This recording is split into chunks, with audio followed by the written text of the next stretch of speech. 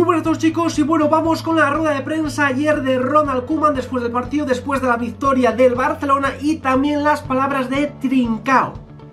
Que ayer, lógicamente, después de marcar su primer gol con el Barcelona, salió, habló y dejó mensajes yo creo que interesantes. Así que venga, vamos a ello.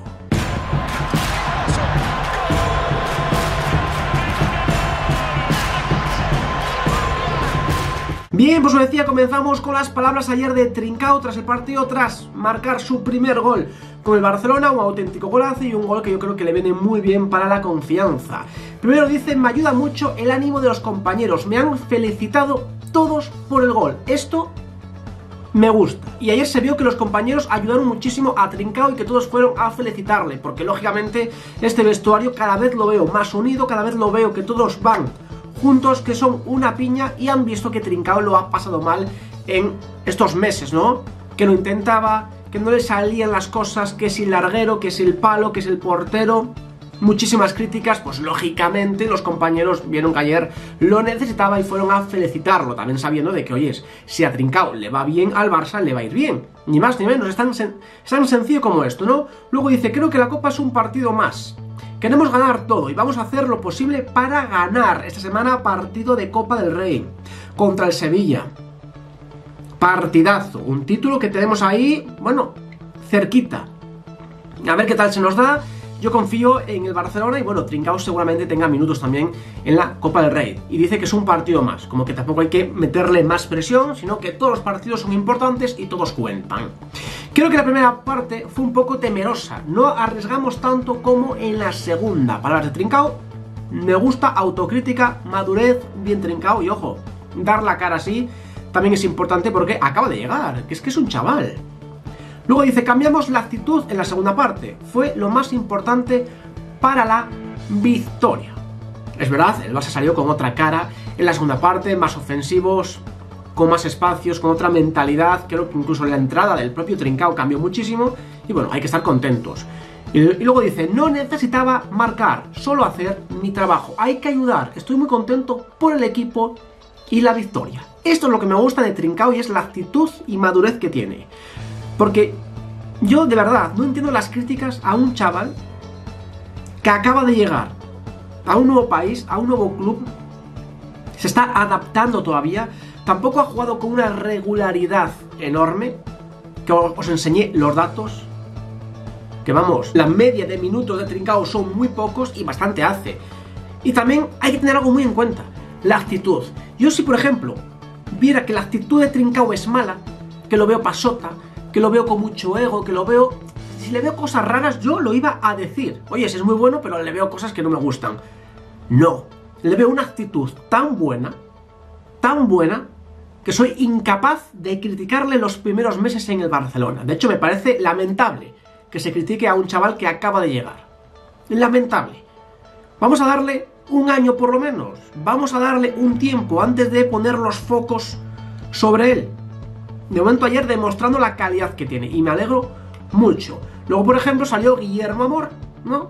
Que siempre está en el Barcelona y dice en la primera parte nos hemos ido abajo y ha estado muy igualado. Y también dice sobre Trincao, dice, se merece ese gol. Está trabajando muchísimo y el pobre se lo merece. Como diciendo que sabe que lo habían pasado mal. Y vamos ya con lo de Kuman, que dice, estoy muy contento con el gol de Trincao, está trabajando bien y es importante para él. De hecho hay una imagen, que no puedo ponerla porque tiene copyright, de Kuman, bueno, felicitando a Trincao tras el partido con una sonrisa enorme. Bueno, esperemos que Kuman cuente un poco más con Trincao y tal, pero bueno, yo creo que está bien ahí y está correcto. Kuman, lógicamente, se alegra de un jugador porque él sabe perfectamente lo importante que es para un jugador como Trincao anotar su primer gol y con ese gol dar los tres puntos al Barcelona. O sea, es importantísimo y desde luego hay motivos para estar contento. Dice, la Copa es un trofeo donde estamos en semifinales. Muchas gracias, Kuman, por el dato, no lo sabíamos. Y dice, es el camino más corto para ganar algo. Es importante, pero somos el Barça. Hay que demostrar mentalidad en cualquier partido de cualquier competición.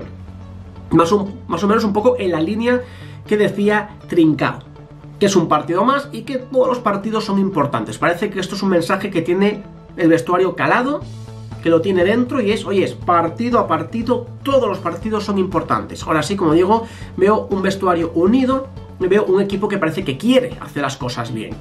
Y lógicamente, la Copa a día de hoy es el título que más cerca tenemos, porque estamos muy cerquita, ¿no? Me gusta más tener un diestro y un zurdo como pareja de centrales.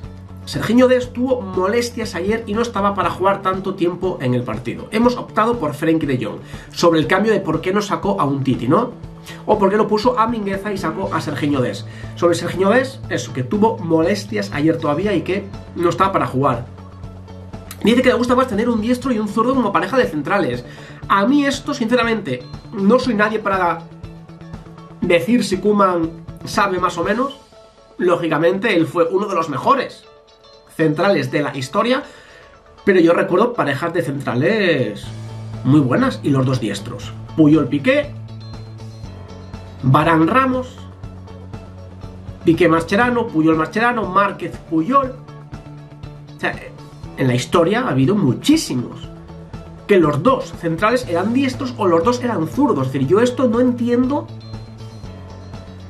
por qué prefiere uno diestro y uno zurdo. Quizás por la salida de balón se supone que es un poco más limpia, se supone que uno de los dos sufre un poco menos, pero me sigue pareciendo un poco absurdo. Es decir, creo que los dos zurdos pueden ir perfectamente. Ricky y Pjanic han trabajado bien, no tengo ninguna queja sobre ello. Palabras de Kuman sobre Ricky y Pjanic. Pjanic ayer sí que ha estado bastante flojo, en mi opinión, y Ricky tampoco ha brillado, es cierto que lo puso muchísimas ganas y de hecho de los tres centrocampistas titulares, Busquets, Pjanic y Ricky, fue el que más aciertos de pases tuvo. Ricky fue superior a sus dos compañeros, pero es cierto que ayer el centro del campo, sobre todo en la primera mitad, no funcionó nada bien. Nada bien. Pero bueno, Kuman ayer tampoco quiso echar más leña al fuego. Bien. Para mí, el primer tiempo no ha sido muy bueno. Nos faltaba más abrir el equipo cuando tuvimos el balón. Cuando perdimos balones, reaccionamos tarde. No he visto al equipo con mucha chispa en el primer tiempo. Esto es cierto. Esto es cierto. Encima, yo ayer venía de ver el City contra el Liverpool. ¿Ves el City? Ayer dos goles los provoca por una presión alta tras pérdida increíble. Una presión a Liverpool que no eran capaces de salir con el balón jugado. Eso es lo que yo quiero ver en el Barcelona, una presión muy intensa, muy intensa. Y ayer es verdad que faltaba chispa y el, y el primer tiempo ha sido malo. Incluso la creación de fútbol, de juego, era bastante mala, no había ideas, había cosas que a mí no me gustaban. Había cosas que a mí no me gustaban. Luego, eh, como digo, en el segundo tiempo sí que vi a un Barça bien, un Barça que mejoró y que físicamente les vi en un gran estado físico. Muy bien.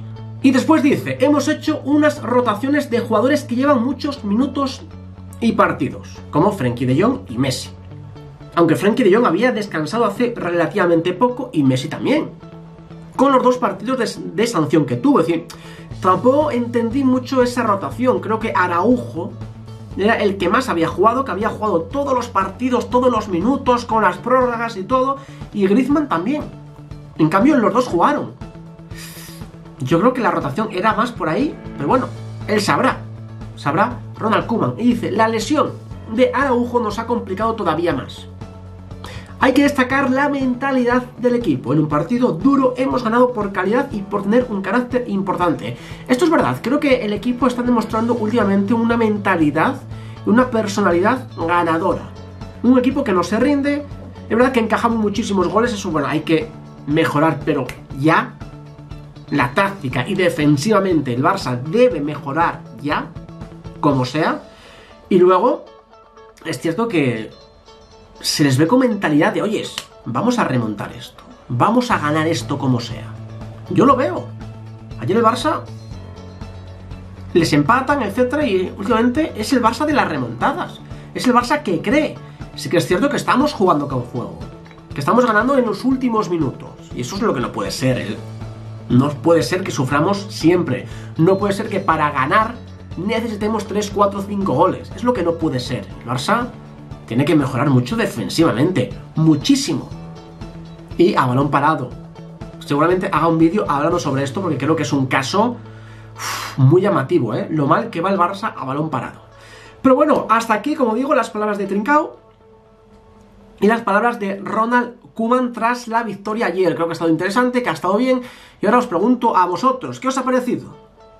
Dejadme todo en los comentarios, apoyad este vídeo con un enorme like, como siempre hacéis. Suscribiros si todavía no lo estáis a este canal y nos vemos en el siguiente vídeo. Un saludo.